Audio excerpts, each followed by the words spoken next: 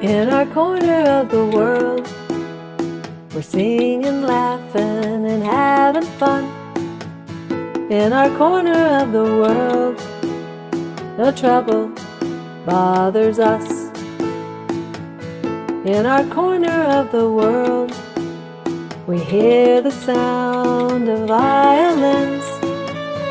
In our corner of the world, we're dancing happy and free. The mountains are climbing, the rivers are winding, everything's fine. The sun it whispers, whispers I love you, let it shine. In our corner, in our corner of the la-di-da, la-di-da, la-di-da. La di da di da di da di da di da. La di da, la di da, la di da. La di da di da di da di da di da.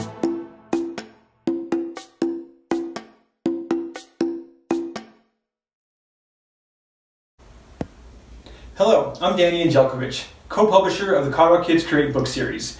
We are amazed at the talent drawn out of these students and happily donate 100% of the profits of our book sales back to our education. We're excited to announce the production of a children's program called Colorado Kids Create and showcase the artwork of thousands of young people, include drawing instruction and music. Hello, I'm Mimi Jo. Everyone living, living has been given a very, very special gift. That is the ability to create. This book is titled In Our Corner. The cover was drawn by Zoe Fensky of Grand Junction. Notice the elk on the cover.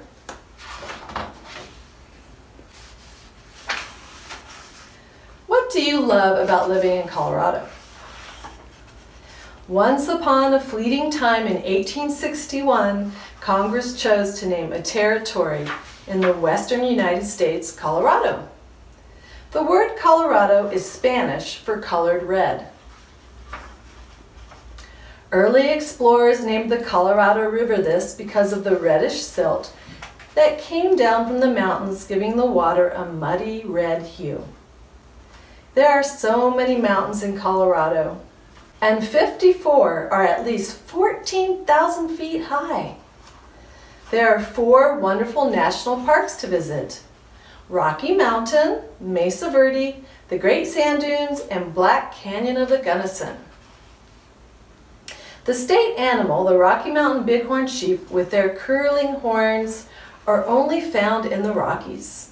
The sun shines an average of 300 days a year in Colorado and the blue sky is like a kaleidoscope in the morning and evening with colors unveiling and changing as light rays pierce through the clouds.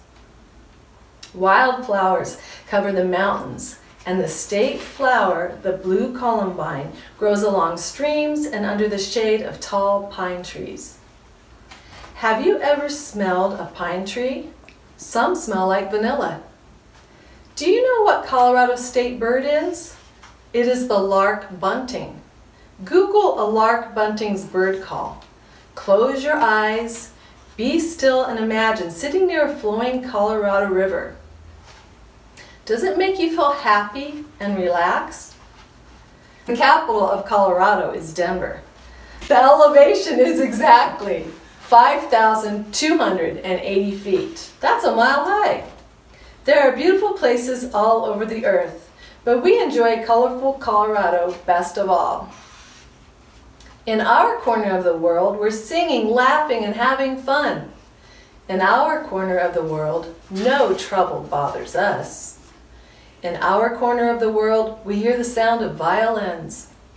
In our corner of the world, we're dancing happy and free. The mountains are climbing, the rivers are winding, everything's fine.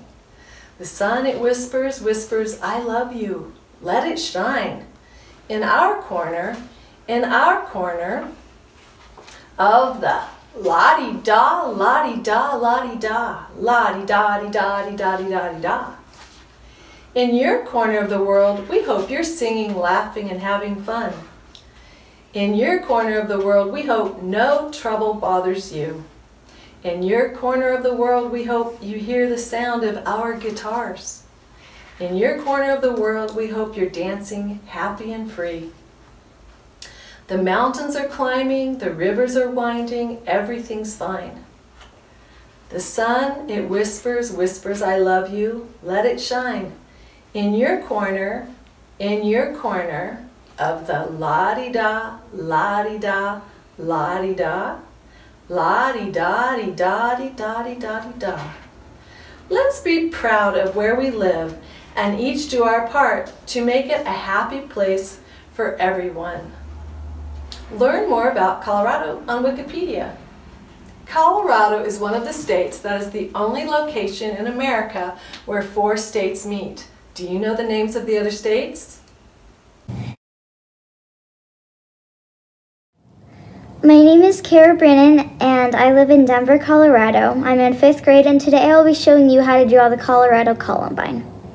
First of all, you're going to need a pencil and eraser and of course something to draw on like a piece of paper or a notebook. And then also you'll probably want um, some blues and purples in multiple shades. And then you'll also need multiple shades of yellow and green for like the stem and then there's a middle part. And then if you would like, you can also use a silver um, colored pencil just to add like um, some reflections to the flower. So first I'm going to start um, by doing like a petal and it has to kind of be a little wide like that. And um, the columbine has five petals.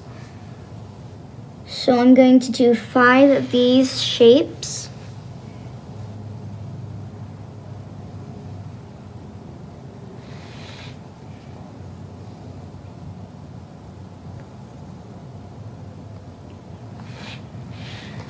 And then after we're done with that, so you see how I left a middle part in there. That's gonna be where our yellow goes. So I'm just erasing a little tiny circle for um, our yellow, and we'll do that later. But in between each of the petals, I left a little space, as you can see. So what you want you're going to want to do is you're going to um, want to draw like a, um, a triangle, kind of like this. And so you're going to do that in between each petal, like this. And they don't all have to be the same size because flowers aren't exactly the same. So they don't have to be the same size or length or width. They just have to be in between each petal, like that. And so now we're going to start in the middle. So you're going to want to take one of your um, yellows, and I'm just going to kind of draw tiny circles in there, kind of like that and then switch on to another yellow once you're done with that one and just do layers of different color yellows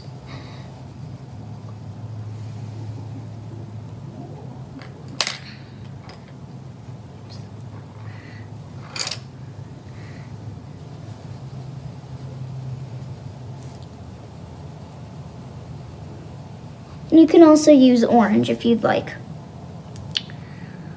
So I have used all of my yellows already. So next we're going to um, start on our petals. So I'm going to use my violet color, colored pencil for this. And we're gonna start by kind of doing small shades and then going up and it should kind of start looking like a diamond like this. You can make it as big as wide as you'd like. And you just want to do that on every petal. And again, they don't have to be perfect triangles. They just kind of have to look a little like them. They don't have to completely be triangles, just little squiggles. So this one's a good example, and I'm going to go over them again just to make sure they're light. So darker, and then they go like lighter as you go up. So next we're going to actually be shading in the petals. I'm going to use a light purple, which I don't, just like use the very tip of a purple. So just barely touch the tip of the pencil tip to the paper. And just lightly shade the um, petal.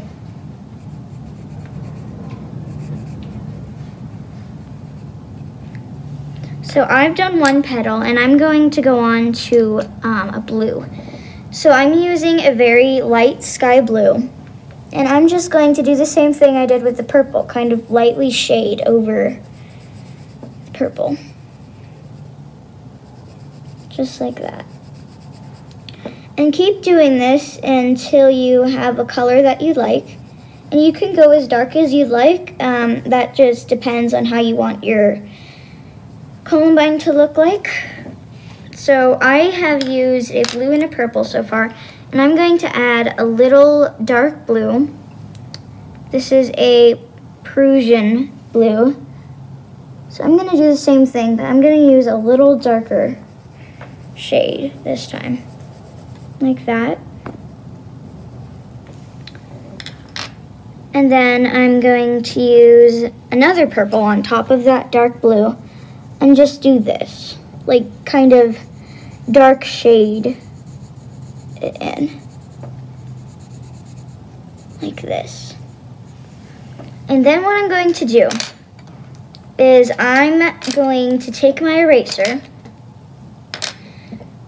and I'm going to use a tip of it and kind of mix these colors together, so like that so that there's not as many lines. And you can also use your finger, but um, the eraser tends to work better.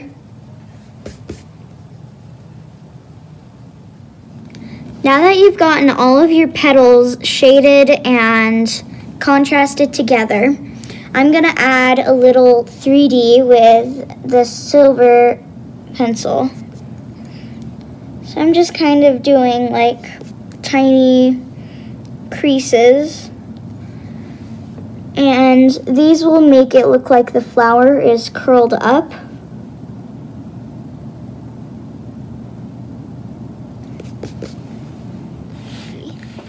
So just um, shade lightly along the edge of your petal and do this on all of the petals. So as you can see, I'm kind of using the silver to curve them up like a little, like that. And you're just gonna want to do it lightly. And again, just using the very tip of your colored pencil to do this.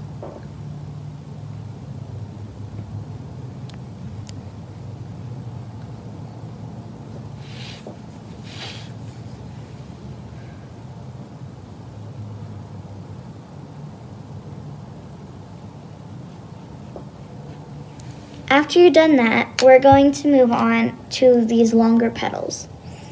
So I'm going to use a lighter purple. This is actually a dark violet, but still will work. And we're going to make it a little darker than the petals inside. So I'm, I like to color um, by outlining the shape first, like this.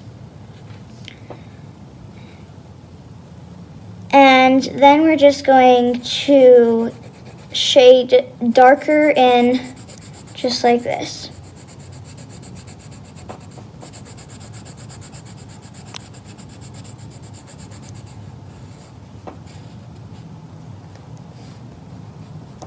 And then I'm going to use a regular violet and just go in and kind of do the same thing except over that purple. So I'm just adding um, a darker blue in with my petals, the outer petals. Um, you can use any color blue, but the um, darker blue will show up much better on the um, mixture of purples. So now it's time for the stem, the last element of our flower. So I'm just going to draw a long line and then I'm going to draw another line going up. And at the very bottom, like about right here, we're going to do the columbine leaf. So what you want to do is you're going to do a small curve and then a big curve and then another small curve and end it. And then you're going to go on and do that until you have four of those kind of leaves like that. And then you're going to do it again on the other side. And feel free to do as many of these leaves as you'd like because the columbine has multiple leaves, not only two. I'm just adding two because it goes a little faster that way. And now we're going to use our greens. So the columbine is a very dark green, like its stem is dark green. So I'm going to use some lighter greens, even though it's dark. Um, these lighter greens will mix with the dark to make it darker. So I'm just going to use a grass green colored pencil and just, you know, lightly shade in the stem. And we won't do the leaves quite yet. Then I will go on to using a another type of, it's a lighter grass green, and I'm just going to do the same thing over this, the um, dark one.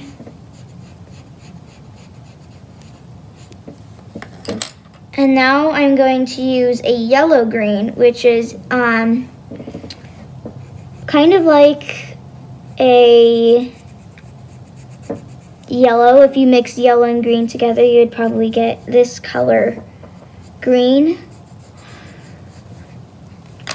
And then lastly, I'm going to use a chartreuse green, which is a very light green. Um, and it's almost like a yellow, but not quite.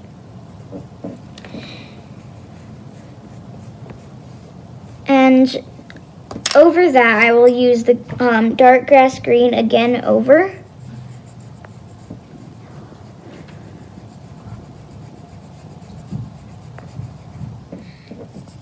So lastly, we're going to do the leaves. Um, and you're just going to do it the same way you did the stem.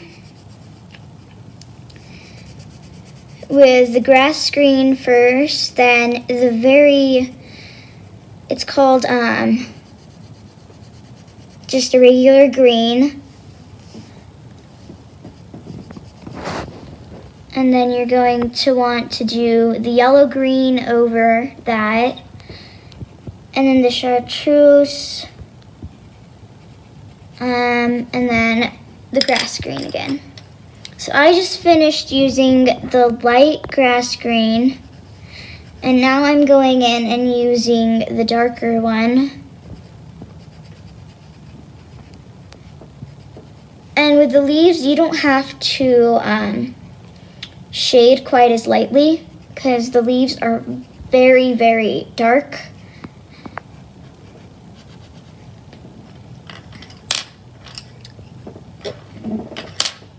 Then I'm going to use my yellow green.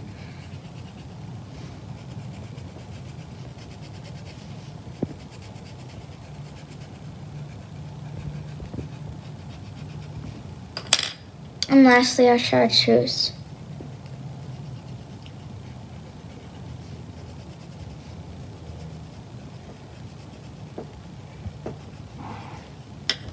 Finally, I'm going to apply another um, shade of dark grass green on top of all of the other colors.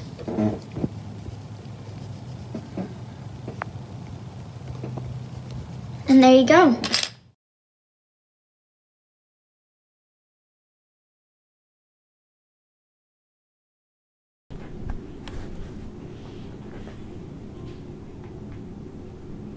Colorado kids create.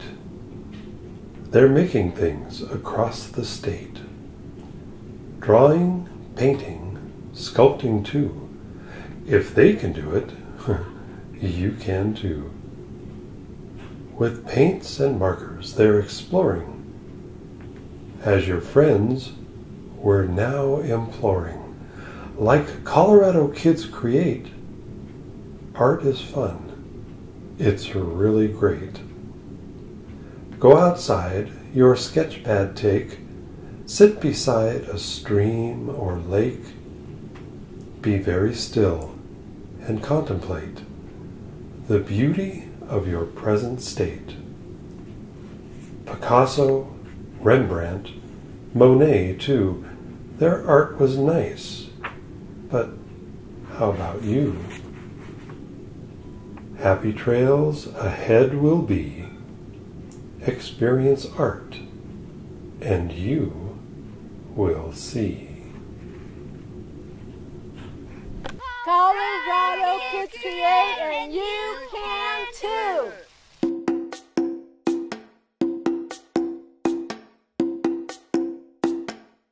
In your corner of the world, we hope you're singing, laughing, and having fun. In your corner of the world, we hope no trouble bothers you. In your corner of the world, we hope you heard the sounds of our guitars. In your corner of the world, we hope you're dancing happy and free. The mountains are climbing, the rivers are winding, everything's fine.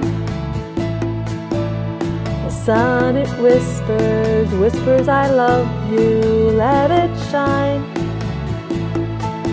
In your corner, in your corner of the la di da, la di da, di da di da. La di da, la di da, la di da. La di da di da di da di da di da. La di da, la di da, la di da. La di da di da di da di da di da. La di da, la di da, la di da. La di da di da di da di da di da. La di da, la di da, la di da. La di da di da di da di da di da.